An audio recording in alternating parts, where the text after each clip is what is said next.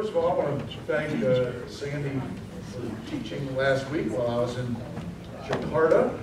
And I bring you greetings from your Presbyterian brothers and sisters in uh, one of the great cities in the world, that's 16 and a half million people.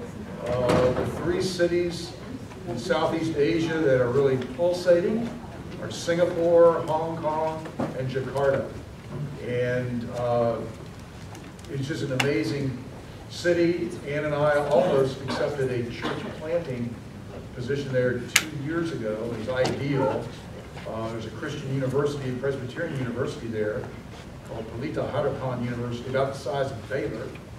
They wanted me to turn their university chapel into a functioning Presbyterian congregation with a session and everything, with a vision of planting 150 churches slash hospitals slash schools around Indonesia. They'd already done about 50, so it was a moving train. Um, I preached twice in that university chapel. I got there on a Monday and they said, uh, well, you got to preach tomorrow at chapel. I said, great. Are you going to come get me about 10? Was it 10, 11? They said, 7 a.m. and I thought, college chapel? There won't be anybody there. There are 3,000 students, faculty, administration. And I preached the following Sunday. They have a Sunday service, 7 a.m. And preached that with 3,000 people. So the church plan that they asked me to do would start with 3,000 people worship. And we do a second service that would be an expat service for English-speaking folks. But you responded to the harder challenge and came here. Well, you know, seriously, I wanted to do this. It was ideal. It was well-funded, so I didn't have to go around begging. Um, and they offered me the thing, and I said, well, I gotta go home and pray about it. I've never gone anywhere without what I call the fire in the belly. This, hard to explain. It's just this thing that happens, and I know I'm supposed to do it. And I was trying to make it happen, but it wouldn't come, it wouldn't come. And I turned them down. I felt stupid in doing so. They came back a few months later. They came back last week. They still don't have the senior pastor. They have a team. One, I have a team of four people. They have three in place. They're just missing the senior leader.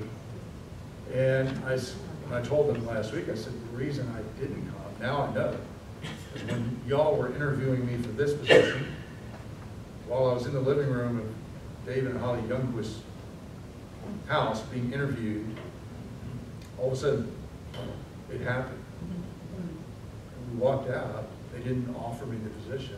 I walked out and said, Ann, we're coming. She said, well, we didn't offer you. I said, Ann, the fire just lit. And there was eighteen hundred hurdles to get through with the presbytery. I said, I know gonna be there. And so that's why I didn't go into it. Anyway, um, we met every day in the equivalent of First Presbyterian Church, right smack in the middle of downtown Jakarta. There are more Muslims in Indonesia than any other country. But here's the brochure of the church we met in. I'm going to pass this around so you can look at it. Um, this is their sanctuary, seats 5,000. And then, that's, that's their education building. It's 25 stories high. One day we ate lunch up there and looked out over the whole. The Presbyterian Church in Indonesia is alive and booming. And as I said, their vision, it's not this particular congregation, it's the university, which is probably about 15 miles away of. Their vision is planting 150 churches, which they've done about a third of them, and hospital. And, and that Presbyterian University is the Harvard of Indonesia. Probably a third of the student body is Muslim, because the, the uh, wealthy Muslims want their children to be highly educated. So they send them to the best university. The rest of the student body is, is Christian. All the faculty is Christian. They have medical school, law school, pharmacy school, nursing school, education school. So when they, the vision, planting these churches, was to plant a church, school, and medical clinic or hospital The hospital's staffed by uh, their folks coming from medical school nursing school. All the teachers are from their teaching, you yeah, educational school. So you've got a critical mass in each village already of 40 or 50 Christians to start the church. Now, Indonesia does not allow the planting of church, Christian church buildings.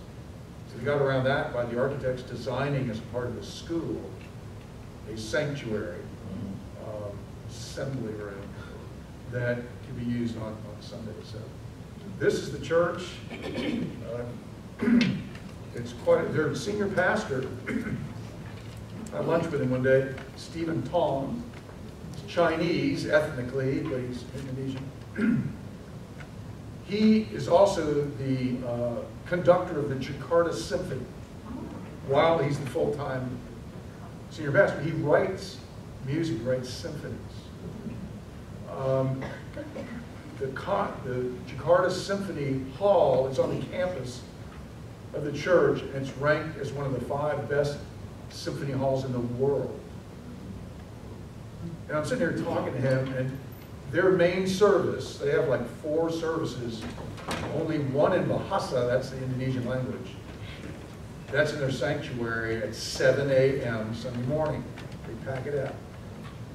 Ann and I, two years ago, we went to the English service in one of their chapels with maybe 150, 200 people. Then they have one in Mandarin and one in French or something. Um, Stephen Tong preaches that service, 7 a.m. Get, gets on a plane.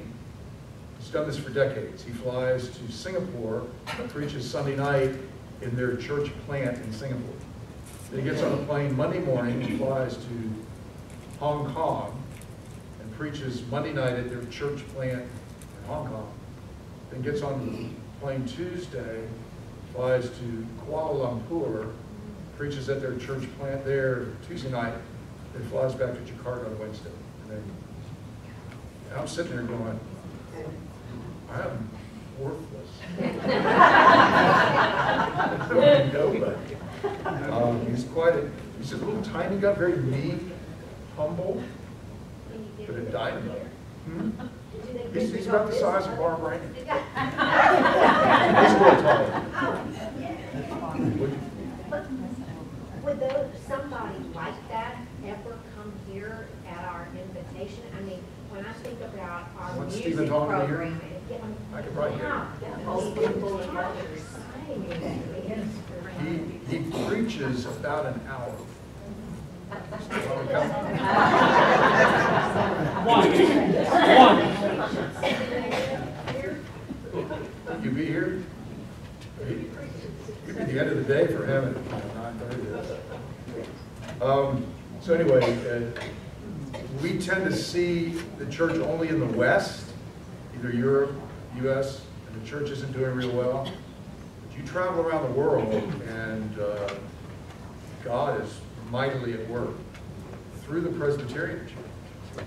And many, many Muslims coming to Christ through the Presbyterian Church in Indonesia. So it's a very exciting, exciting place. But so is San Antonio. Well, today, today is St. Patrick's Day, so I thought I'd honor that. First of all, did you know that St. Patrick is not Irish? I'm a Scot, and the, the British and the Scots fight over St. Patrick. He was born in the Borders area, but the maps I've seen, it's on the Scottish side of the border. And the Brits say, well, back then, the border was further north, it was really British. Most Irish people think St. Patrick's Irish, so tell your Irish friends, and if you're a Scot, say a kilt. So here's, here's an Irish joke. Uh, this Irishman walks into a bar, and he orders three beers. And he does this every Tuesday night for about three weeks. And finally, the bartender says, every time you come in here, you order three beers, but nobody ever joins you. You just sit over there and drink all three beers. He said, well, I'm doing it in memory of my two brothers who were dead. They died years ago, and I'm kind of honor them, and I have a beer for each one of them.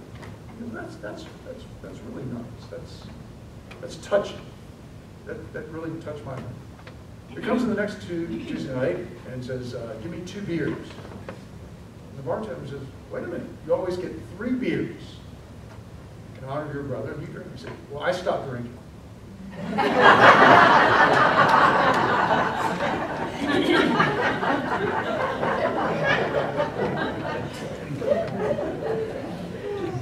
Okay, well, it is spring break, and this is our last uh, Colossians class, so it's, uh, I'm not going to wear a tie. Um, Celebrate spring, spring break. So why don't we try to wrap up where we've been? Um, A good thing to do is, at the end of of the biblical studies, to kind of talk about what what are the, what's Paul really getting at above everything else in this letter? Really, there are two themes that run through Colossians. One is the supremacy of Jesus Christ in both creation and redemption. If you can picture in your mind uh, a construction, theologians talk about a canopy of theology, and there are two pillars that hold it up. One is creation, and one is redemption. And uh, which makes sense when you when you think about Jesus Christ. We usually think of him as just the redemptive pillar. And if you don't get Jesus right, who he really is, that redemptive pillar falls. And if either one of those two pillars or both fall, the whole thing comes down. So you need to get Jesus right, who he is. But we've seen in Colossians, and we see other places as well, that Jesus is actively involved as the second person of the Trinity in creation as well. So he was not sitting idly by while the Father created and then he's just in for redemption. No. Everything Paul says in Colossians holds together. Jesus is sort of the glue that holds the entire universe that he created together. So that's why Christology is, you can argue that Christology is the most important part of theology. Karl Barth, Reformed theologian in the 20th century, some people argue that he was possibly the greatest Reformed theolo theologian. Um, he was so Christocentric that his, his critics said he was almost a Unitarian because he didn't spend a whole lot of time talking about God the Father and the Holy Spirit. He really zeroed in on Christ. And when I was at Union Seminary Richmond, the three theologians they hammered home, hammered into us were Calvin and Barth and Reinhold Niebuhr. And I'm thankful, I don't agree with Barth and everything, but I'm thankful for his Christological stance. And he really elevates uh, fact that it, we've got to get Jesus right as fully God and fully man. And when churches, individuals, or denominations drift from a strong Christology, if Jesus gets fuzzy, everything else, the dominoes start to fall. Um, so I'm, I'm thankful uh, for strong Christology in this church, in our new denomination. And uh, the second theme, uh, though running through here, is, is relationships, relationships in life. How you and I, in a relationship with Christ, how we live that relationship out with spouses, children, employers, employees, how you and I relate to other people, and we talk about making Jesus visible. We can get all our theology right, but if we don't know how to relate to people, and have a, a, a good bedside manner, so to speak, um, it can actually negate all of our good theology. So Paul, we're going to, you've already seen in your small groups, he brings up all these names at the end of these people. He does it in Romans, when we finish up Romans. He's going to have a whole laundry list of real life, eternally alive human beings, uh, but they're real life human beings back then. And a reminder that the Christian faith is a real live, flesh and blood, relational way of living, not just a way of thinking and believing. Um, Your beliefs will never really be right until, your relationships are right, and your relationships will never really be right until your beliefs are right. So it's, a, it's all interwoven. Um, let me ask you a question. What would you like to see on your tombstone?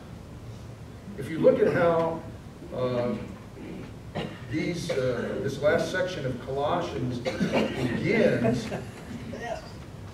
Paul uh, has some nice things uh, to say about a certain young man named Tychicus. He almost, it's almost like he's writing Tychicus's, Tychicus's epitaph here. Tychicus will tell you all about my activities. He is a beloved brother, faithful minister, fellow servant in the Lord. Wouldn't you like to see that on your tombstone? I would, just not anytime soon. Um, here are some actual tombstone epitaphs. Um, I'm finally thin, maybe a little too thin. That's an actual, I found these on the internet with actual pictures of tombstones with these on. Um, here's one. I was so loaded, I didn't know it was loaded. Here's another one at a columbarium. I guess you could say I found my niche. Here's another epitaph, actual, actually on a gravestone. The shop said the brakes were fixed right this time. And then uh, finally, my mother-in-law's casserole really was to die for. so here we have Tychicus, um, and we have this great epitaph, beloved brother, faithful minister, fellow servant. So who was Tychicus? You probably talked a little bit about him.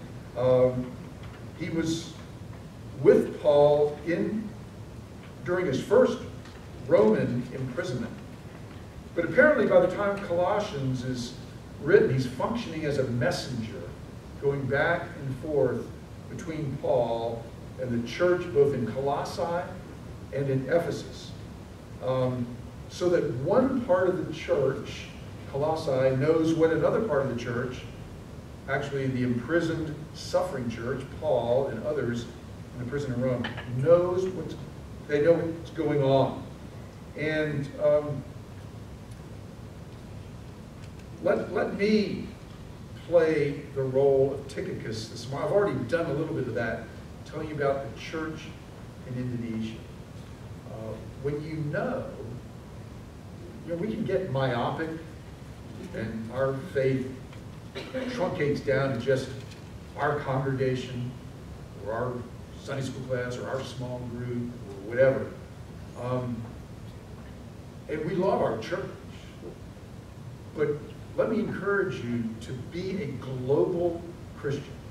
If you want encouragement, if you want to get more excited about your faith, go on the internet and just Google what's happening in the church elsewhere in the world. And it'll pull up a whole bunch of things. Uh, I get the privilege of traveling around. Uh, my church in Baltimore and then in Dallas, uh, and you all are doing it too. Wherever I've gone, I've said, said to the missions people, send me every year strategically where you want me to go. Um, and I do that for a number of reasons. And it's always in conjunction with on-the-ground missionaries that we're in partnership with. Um, and so we're on, just send me the French Riviera and see what's happening on the beach there for Jesus. And so I've gone into some really bad places, some dangerous places, some not so dangerous. And I've been on every, I've been on six of seven continents. I just, I've not been to Antarctica. And over the last 26 years, I, I, I cannot not get excited about the Christian faith and the Christian church in the world today. Because go elsewhere and the church is booming. On any typical day, on March 17th, St. Patrick's Day, in Latin America, if this is a typical day, average day, 10,000 people will come to Christ in Latin America at the same time, in Africa, 10,000 people will come to Christ continent of Africa today. 10,000 people will come to Christ today, if it's a typical day, just in the nation of China. And so there's 30,000 new believers. But the big problem with all this excitement to Christ, well, who pastors them? They can't build churches fast enough and train pastors, enough pastors to pastor the church. When I was in uh, the Maasai area of Kenya, and we were with the mission team from Highland Pres, we slept in tents on the Serengeti. So cool. I'd get up every morning and see Mount Kilimanjaro. And uh, we took showers with buckets of water heated over the fire and then dumped over your little canvas covered stall. It was really kind of funny. But um, I talked to uh, Presbyterian pastor there. Our church had bought him a motorcycle. He had a, just a regular bike. We bought him a motorcycle because he had 12 churches that he pastored. And he put on that motorcycle, you know, hundreds of thousands of miles a year, just traveling around those 12 churches trying to keep them going. Um, So we, we've got it easy. So tons of Christians, not a lot of pastors. So theological education is something we really want to get behind in the majority world, the third world. So um, there's all kinds of great things happening, but if you didn't know that, you might get discouraged here in the U.S. So Tychicus is this messenger going back and forth. He, he wants Paul to be, and the others that are in prison with him, to be encouraged. Paul, things are going great in Colossae. And Paul and the others want the Colossian church be encouraged. So it's a mutual encouragement uh, society, really. And traveling with Tychicus is another name, and we've met him elsewhere in Scripture. Onesimus.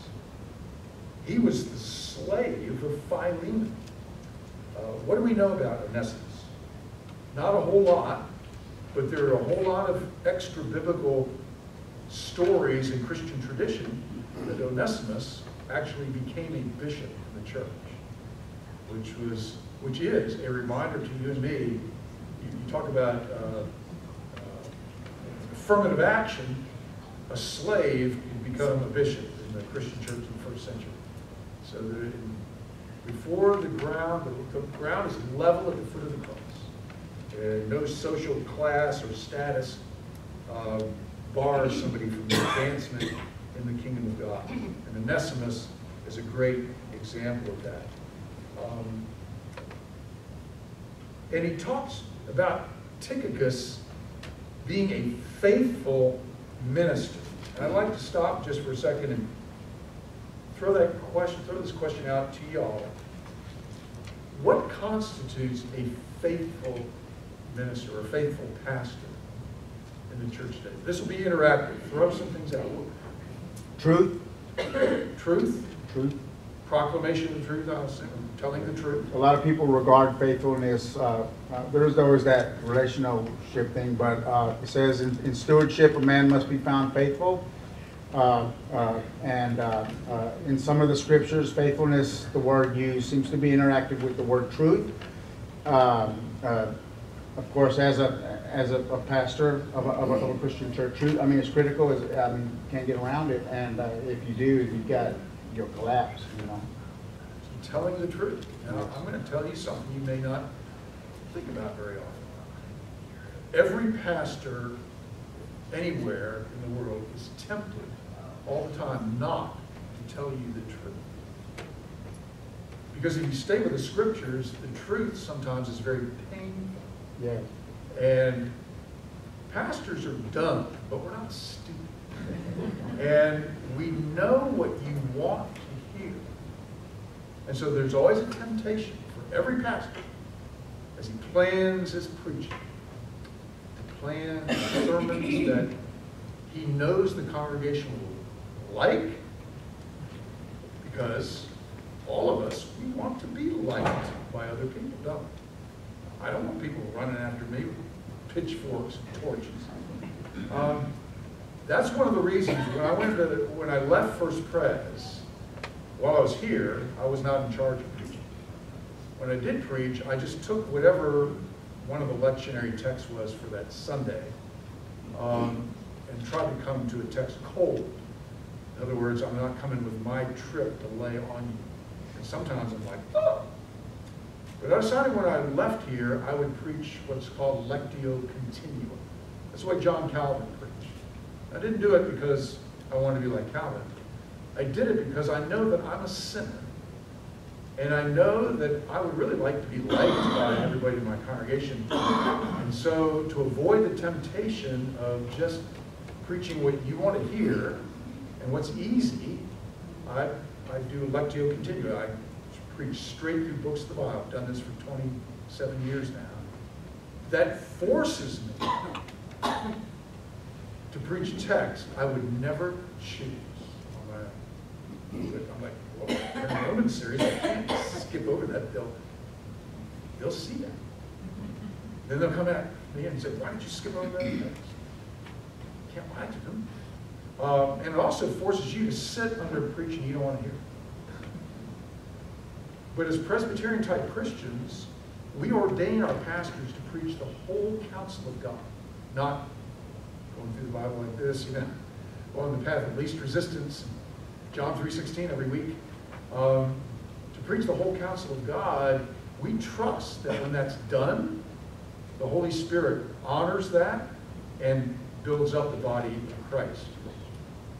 And I've seen that happen at Central Church of Baltimore. I've seen that, I saw it happen Highland Park Church Dallas.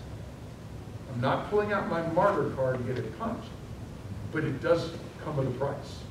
And I always joke around and say, take off my shirt, I can show you what any caliber bullet looks like going in and going out. And the hole's different in the front than it is the back.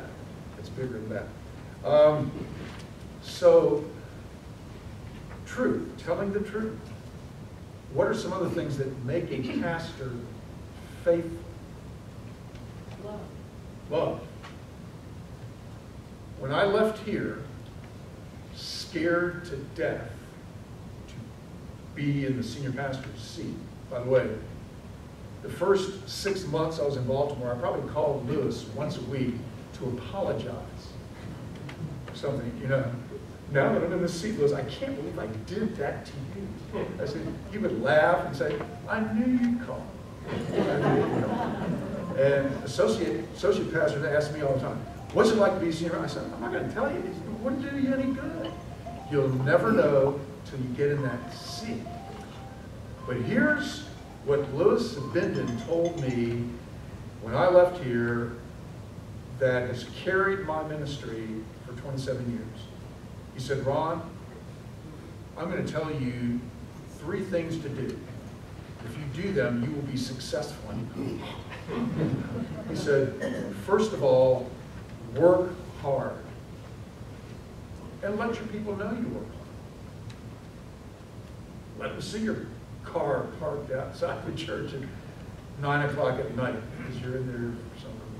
Work hard, let your people know, don't dandy it around time, but let them know you, you're a hard worker. Secondly, he said, love your people.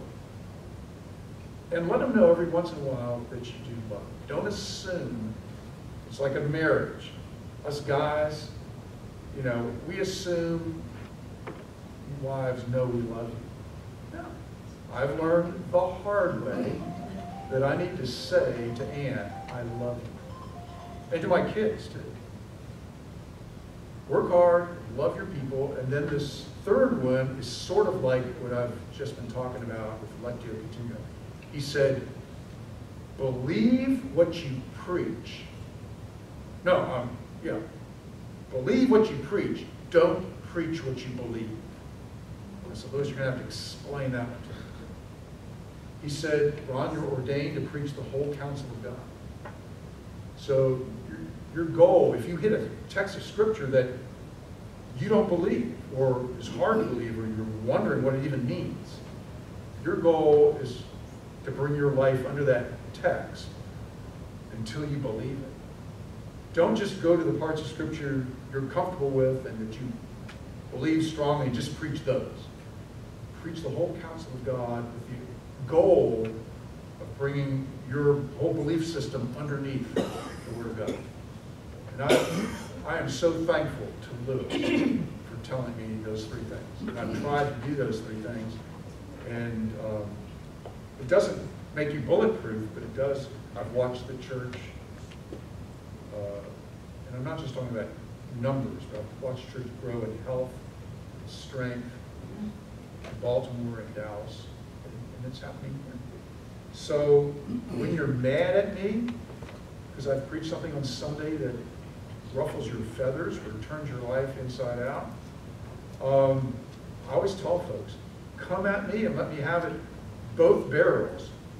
If I'd said something that's not in conjunction with the scriptures, but if you're angry because what I said is in conjunction with scripture, your beef's not with me. I'm just, don't kill the messenger. Your beef is with God. You need to wrestle that out with him, rail out at him. I didn't write this stuff. I just try to say, here's what it says. I don't, sometimes you'll hear me say, I don't like this. I, in fact, I, I, I wish this was not in the Bible, but it is. So we've got to take it seriously and wrestle with it. We may come out at different places. And I've evolved in my thinking about certain passages. Usually it's, you know, evolve is a fancy name for I finally lose the wrestling match to God and give in to what he wants. Um, so apparently Tychicus is a very faithful pastor. Let me read you the job description of the perfect pastor. now, everyone wants their pastor to be perfect. Well, here's the job description. The perfect pastor preaches exactly 10 minutes. Secondly, he condemns sin roundly, but never hurts anyone's feelings. He works from 8 a.m. until midnight and is also the church janitor. The perfect pastor makes $40 a week, wears good clothes, drives a good car, buys good books, and donates $30 a week to the church. He's 29 years old and has 40 years of experience. The perfect pastor, above all, is handsome. The perfect pastor has a burning desire to work with teenagers and spends most of his time with the seniors. He smiles all the time with a straight face because he has a sense of humor that keeps him seriously dedicated to his church. He makes 15 home visits a day and is always in his office to be handy when needed. Perfect pastor always has time for the, the session of the church and all of its committees.